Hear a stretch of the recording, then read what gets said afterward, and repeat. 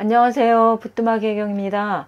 오늘은 쌈배추 가지고 쌈배추 샐러드를 한번 해보겠습니다. 어, 아주 간편하고 쉽게 먹을 수 있는 쌈배추 샐러드 그럼 시작하겠습니다. 쌈배추는 250g을 준비했어요. 제가 좀 큰 거는 반 좀 잘라놨거든요. 채 썰듯이 얇고 곱게 썰어 주시면 돼요 이렇게 가운데 크면 반 잘라서 하셔도 됩니다.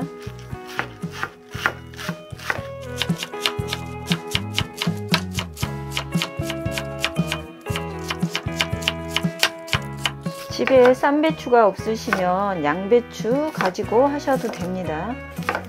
양파는 중간 크기 사이즈의 반을 준비했습니다. 한 46g 돼요. 곱게 아까 어, 쌈배추랑 같이 곱게 썰어 주시면 됩니다. 쌈배추랑 양파를 찬물에 5분 정도 담궈 두세요. 왜냐하면 어, 쌈, 쌈배추의 아삭함을 살리고 또 양파의 아린 맛을 빼기 위해서 찬물에서 꼭 5분 정도 담그셨다가 건지시면 됩니다. 어, 쌈배추에 물이 빠질 동안 소스를 만들어 보겠습니다. 소스에 들어가는 재료는 국간장 한 큰술이에요. 참치액 한 큰술, 올리브유 한 큰술, 부순깨 반 큰술, 설탕 한 큰술 반, 고춧가루 한 큰술 반, 다진 마늘 반 큰술, 식초 한 큰술 반이에요.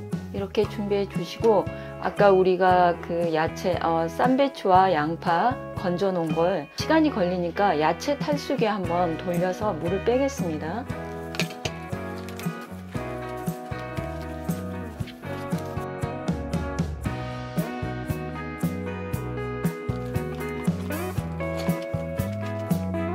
이렇게 돌리면 물이 이렇게 많이 나와요.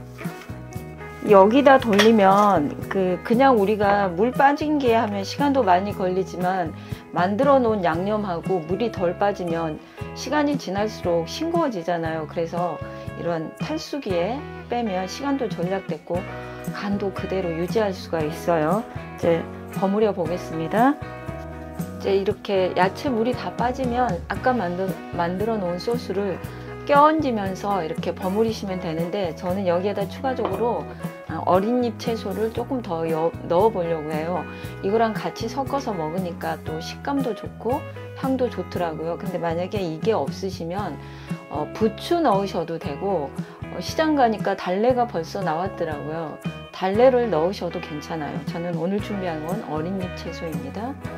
한꺼번에 다 넣지 마시고 조금씩 전체적으로 한번 다 골고루 양념을 입히고 다음엔 어린잎 채소로 넣어서 같이 버무리겠습니다. 쌈배추하고 양파를 다 곱게 채쳤기 때문에 세게 버무리지 마시고 살살살 버무리세요. 이렇게 전체적으로 한번 다 같이 버무려 주시고 그 다음에 어린잎 채소를 넣어서 마지막으로 같이 한번 더 버무리겠습니다. 제가 준비한 어린잎 채소는 한 35g 되는데 이거는 취향껏 하시면 돼요.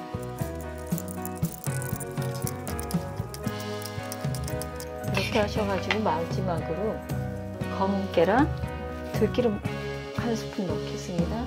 더 달콤한 맛을 내고 싶으시면 집에 과일 있죠. 다 어, 사과나 배 이렇게 곱게 채쳐가지고 같이 넣어서 하셔도 괜찮습니다.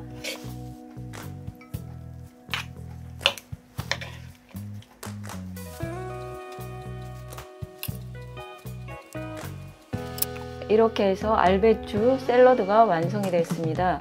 어, 집에서 고기 드실 때 아니면 카레나 음, 오므라이스 이런 거 드실 때 같이 곁들여 드시면 참 좋고요. 그리고 그냥 반찬이 없을 때 이거 하나 만들어서 그냥 비빔, 비벼 드셔도 참 괜찮은 반찬, 반찬이 됩니다. 오늘도 시청해 주셔서 너무 감사하고 다음엔 더 좋은 레시피로 찾아뵙겠습니다. 감사합니다.